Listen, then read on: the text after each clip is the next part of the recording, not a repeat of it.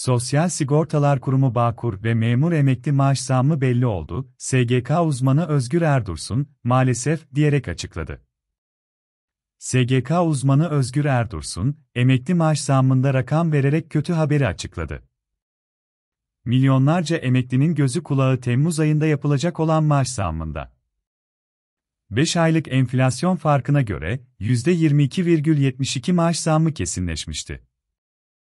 SGK uzmanı Özgür Erdursun ise emekli maaş zammında rakam vererek kötü haberi açıkladı.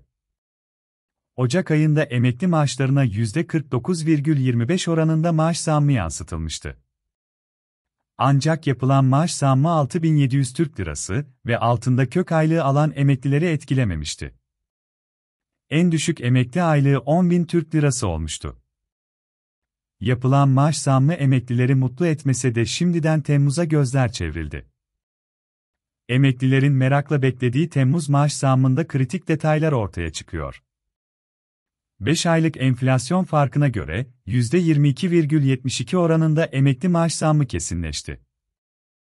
1 aylık enflasyon farkının da eklenmesi ile birlikte emekli maaşları ortaya çıkacak.